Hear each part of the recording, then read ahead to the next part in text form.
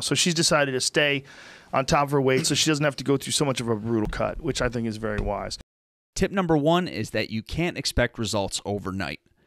Total weight loss during the first six weeks was five and a half pounds. Not as much as I had hoped for, but it's still nearly a full pound per week.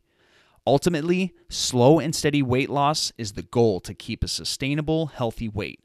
A crash diet resulting in drastic weight loss will burn valuable muscle and hurt your metabolism. That said, I lacked some discipline during this cut and could have achieved results much faster.